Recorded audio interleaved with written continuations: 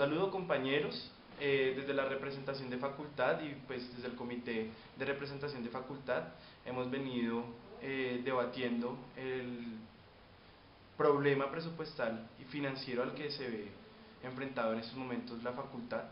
La facultad en estos momentos se enfrenta a un déficit de 8 mil millones de pesos que pues no se sabe la procedencia de este déficit y está en proceso de investigación y también pues de qué medidas se pueden tomar para poder subsanar este, este problema. puede afectar esto?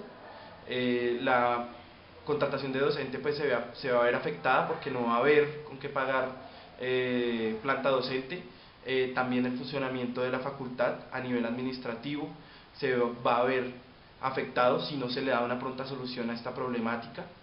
Y pues, ¿cuáles son las posibles soluciones? Ir por más presupuesto a, a, sede, ir por más presupuesto a nivel central y también, pues, ir pidiendo presupuesto para la, para la educación superior en su totalidad, pues, a, a los entes estatales.